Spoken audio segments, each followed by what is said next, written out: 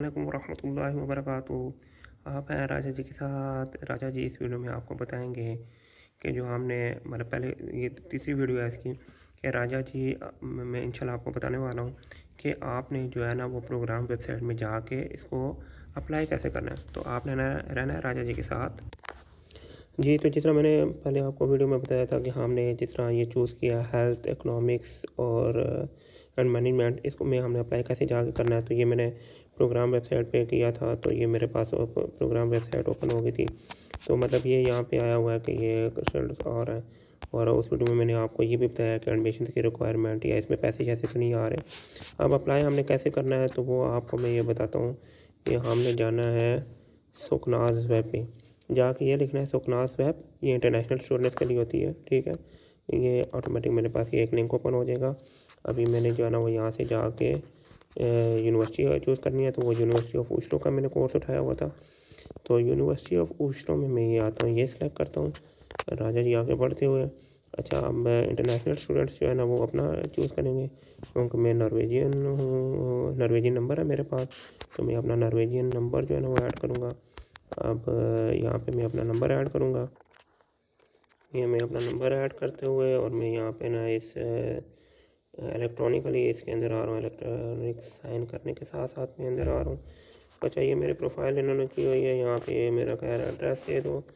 Address मेरा जो है ना, वो है कटारीवान ऑटोमेटिकली उठाएगा मेरा यहाँ पे अंदर लोड है। अंग्रेज़ी में मैं पढ़ना चाह रहा हूँ। अच्छा वो नेक्स्ट कह रहा है। नेक्स्ट पे चले जाओ।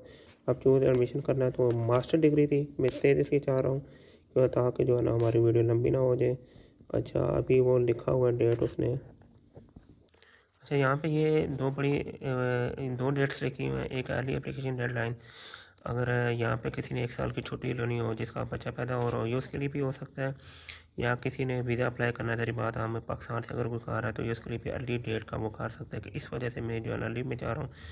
और ले, नहीं ये बल्कि नॉर्वेजियन के लिए जो हमारी डेट्स हैं वो जो पाकिस्तान से डेट होती है सॉरी मैं यहाँ पे गलत बता के जो पाकिस्तान से डेट होती है वो ये कम यकम दिसंबर होती है। लेकिन मैं आपको बता रहा हूँ, जो हम नॉर्वे के अंदर और वो अपना एक्सटेंशन करवाना चाह रहा है। इसलिए आप ये नॉर्वे वालों के लिए ये डेट सप्लाई होंगी और जो पाकिस्तान से आ रहा है, वो, या पाकिस्तान से बैठ के पहले उसने इतनी लंबी प्लानिंग की है कि मैंने दो साल में मुझसे नहीं होगा, या वो पहले वैसे ये करना बेहतर नहीं है, ये नॉर्वे के अंदर आगे बेहतर है। तो मेरी फाइनल सजेशन ये है कि नॉर्वे के अंदर है। तो अगर वो उसको पहले हमें सारी बात है ये पहले डेडलाइन अर्ली नहीं हमें चाहिए एप्लीकेशन की तो हमारे पे ये डेट लागू हो रही है बीस चार दो हज़ार बाईस। अब हम इसको सेलेक्ट करेंगे, इसमें कौन कौन से कोर्सेज हैं?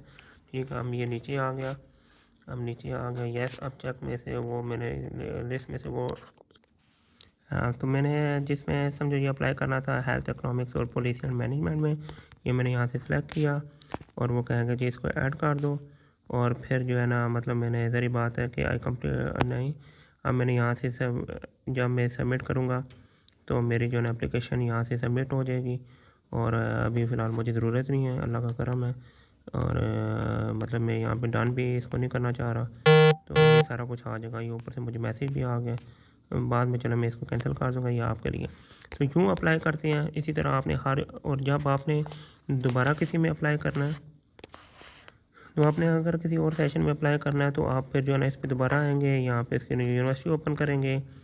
ठीक है, जिस तरह अगर मैं ये चूज़ करता हूँ तो ये यूनिवर्सिटी पे आएगा, आपकी university of N T N U है तो इसके प्रोग्राम साइड पे जाने के लिए आप में क्या अगर मैंने किसी और यूनिवर्सिटी चूज़ करनी है तो पहले मुझे सबसे पहले लॉग ऑफ़ होना पड़ेगा, मैं जब यहाँ पे आऊँगा, फिर यहाँ से मैं यूनिवर्सिटी ऑफ़ जो है ना वो N T N U select करूँगा। और ये ठीक है यूनिवर्सिटी ऑफ़ फॉर एग्ज़ाम्पल ये थी ठीक है एन टी एन यू अब मैं फिर वही प्रोसेस दोबारा से करूँगा। तो हर नई यूनिवर्सिटी के लिए मुझे नया प्रोसेस करना पड़ेगा। तो ये आठ दस कोर्सेज़ हैं तो इन शाला ताला इस तरह आपकी जो है ना वो एडमिशन फिर ऑटोमेटिकली हो जाएगा और इस एडमिशन को आप सीज़ करवा के अगर आपको फर्दर इस जो जो है वो ज़रूरत पड़ती है तो आप इसे एक्सटेंड करवा सकती हैं। और ये है नॉर्वे वालों के लिए, जो नॉर्वे के अंदर आ गए हैं तो ज़्यादा पाकिस्तान से बैठ के ना सोचें क्योंकि फिर वो और भी बहुत सी जो है वो रिक्वायरमेंट्स चाहिए होती हैं मतलब स्टेटमेंट वगैरह के। इसलिए ये नॉर्वे वालों के लिए प्रोसेस है, इंशाल्लाह आप आ जाएँगे और फिर हो जाएगा। उम्मीद है इंशाल्लाह ताला पाक आसानी करेंगे। और आपको समझ भी आ गया होगा और इन ताला इसकी आपको ज़रूरत नहीं पड़ेगी। लेकिन फिर भी इंसान कमज़ोर है, अगर ज़रूरत हो तो इन ताला अल्लाह मदद करेंगे। असल वरहमल वर्का